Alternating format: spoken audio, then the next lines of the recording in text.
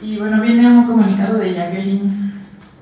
Desde la postura de resistencia y de no reconocer a la autoridad de manera que cada uno conoce y vive su libertad más allá de las paredes de máxima seguridad,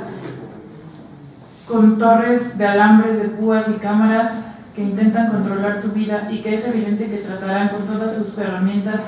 avasallar nuestro espíritu y persona, lo cual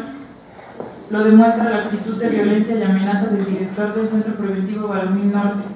mismo que valiéndose de los custodios y grupos de choque que conforman algunos presos, ha abusado de su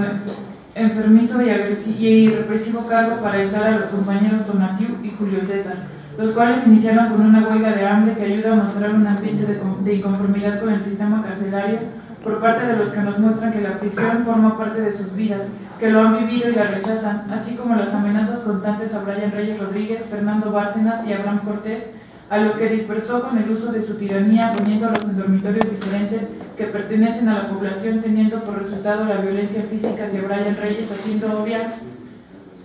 la desconsolada represión que el director dirige en contra de este. En consecuencia, evidenciar el comportamiento por demás autoritario y en pro del desarrollo del Estado y sus repudiables instituciones es una herramienta de la que hago uso, reconociendo la libertad, la autonomía y la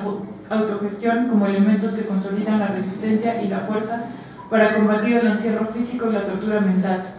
Exijo el cese del perseguimiento, hostigación y violencia en contra de los que libremente se organizan y combaten esta institución la libertad de las mentes supera. Reclusorio femenino eh, de Santa Marta Catitla, Jacqueline Santana.